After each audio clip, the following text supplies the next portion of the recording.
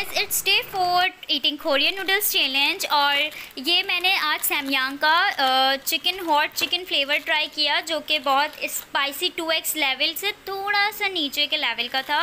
ये बिल्कुल वैसी ही स्पाइस रखता था बट वो स्पाइस टू एक्स की जो होती है वो हमारे टेस्ट करने के बाद भी हमें बहुत लगती है बट इसकी स्पाइस सिर्फ़ आपके लिप्स तक रहेगी। यानी आप जब इसे टेस्ट करोगे तो आपके लिप्स को बहुत ज़्यादा ये स्पाइसी स्पाइसी करेगी।